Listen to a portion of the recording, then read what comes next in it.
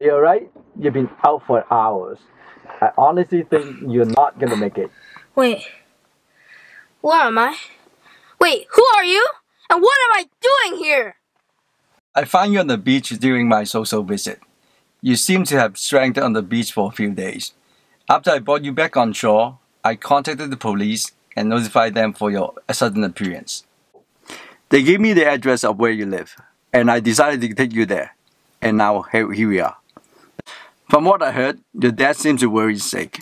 Best to say goodbye, since your dad won't, doesn't want to see a stranger car park up in your driveway.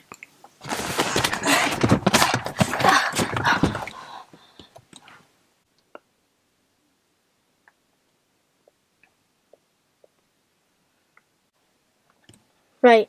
Right. Um thank you for taking me here and um thank you for saving me as well.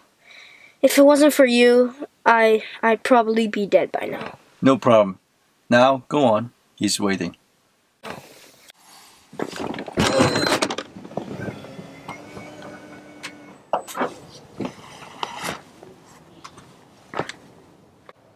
Well, here goes nothing.